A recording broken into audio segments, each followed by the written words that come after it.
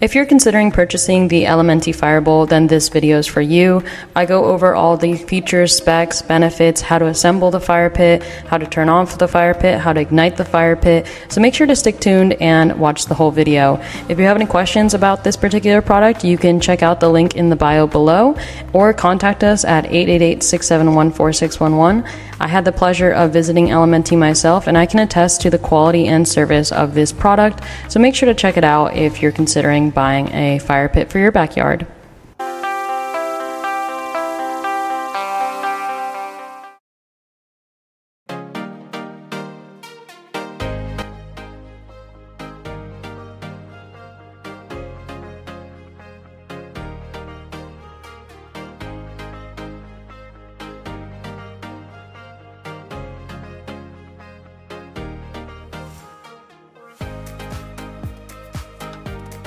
With the Elementi Firebowl, you don't have to worry about settling. This fire pit is constructed of glass fiber reinforced concrete, which is the highest quality material you can buy for a fire pit.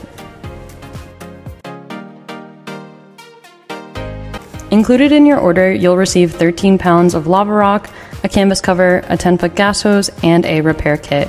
You can also replace the lava rock with recycled fireglass or reflective fireglass. We have tons of colors available on the website for an extra cost, so make sure to check the link below to see all the colors that we have.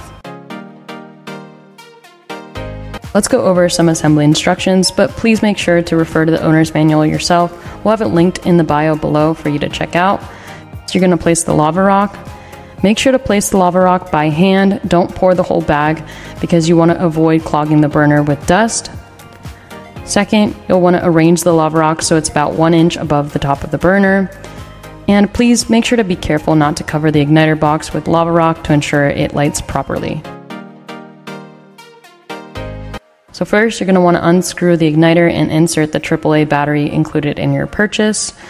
Second, you're going to place the tank seat on the ground and place a 20 pound propane tank into the tank seat. Third, tighten down the screw on the side of the tank seat to secure the propane tank. Note the fire pit must be 60 inches away from the gas tank. Four, you're going to want to check that there's no debris in the gas tank head, the regulator valve, or the burner ports. Five, attach the gas line to the tank by turning the knob clockwise. Tighten it by hand only. The control knob is on the right and the igniter is on the left. Control knob must be in the off position to start. You're also going to want to make sure that the propane tank is connected and you're going to slowly open the valve on the LP gas cylinder. Next, you'll push and hold the igniter button to create sparks. While holding the igniter button with one hand, use your other hand to push and turn the control knob to the low position to light the burner. If ignition does not occur in 5 seconds, push and turn the control knob to off. Wait 5 minutes and allow the gas to dissipate. Once the burner is lit, continue to hold the knob in for about 20 seconds and release. Observe the flame and make sure all burner ports are lit. Flame height should be about 13 inches tall, and you can adjust the flame to the desired height with the control knob. And to turn off the fire pit, you're going to turn and push the control knob clockwise to the off position and turn the cylinder valve on the gas tank clockwise to close. You can expect an impressive 45,000 BTUs of heat output with this fire pit, which is definitely enough to keep everyone warm around the fire. The Elementi Lunar Bowl size is probably one of its highest selling points because it's versatile enough to fit into many backyard or patio spaces. It's 42 inches long, 42 inches wide, and 16 inches high.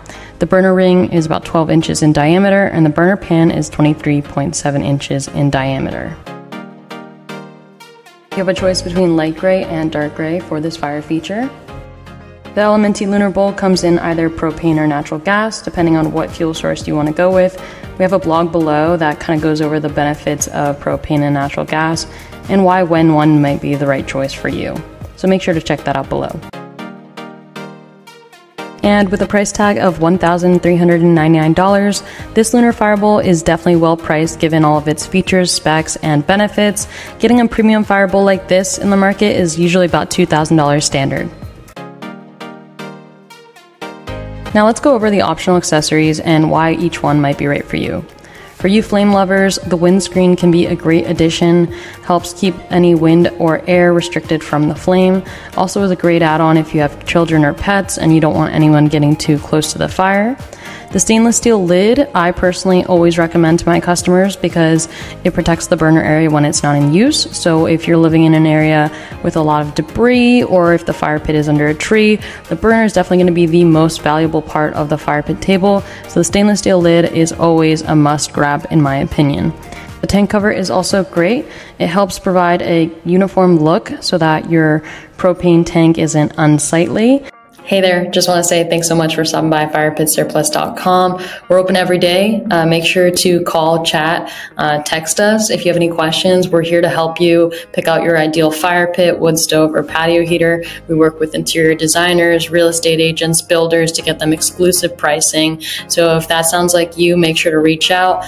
Uh, we only carry the best brands in the industry, and that can really be backed by our reviews. People are really happy with the product, free shipping on anything over $200, uh, no sales tax in most states, and for the most part, we have a lowest price guarantee. Shout if you're interested in anything I just talked about, and uh, we'll see you soon. Thanks.